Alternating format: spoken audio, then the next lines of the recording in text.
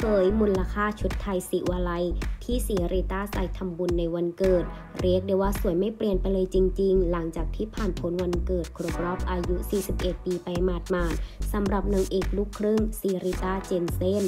ภรรยาคนสวยของนักธุรกิจตระกูลดังกรนรงเดช ซึ่งปีนี้สาวริต้าพร้อมด้วยสามีและลูกชายสุดหล่อน้องกวิน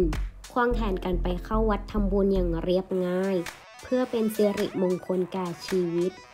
โดยงานนี้สาวริต้ามาในชุดไทยสีขาวงดงามสะอาดจากแบรนด์ดังฟินาเล่เป็นชุดไทยแสนวิจิตรที่ชื่อว่าชุดไทยศิวาลัย 1960 ที่มี detail ลวดลายสุดประณีตทางนี้พี่ปราฟินาเล่ทั้งเจ้าของแบรนด์ก็ได้เปิดเผยว่า ชุดที่สาวศรีริต้าสวมใส่นั้นมีมูลค่ามากกว่า 500,000 บาทเลยทีเดียว เรียกได้ว่าสวยแพงสมฐานะนางเอกซุปตาและลูกสะใภ้หมื่นล้านบ้านนรงเดชจริง ๆ ค่ะ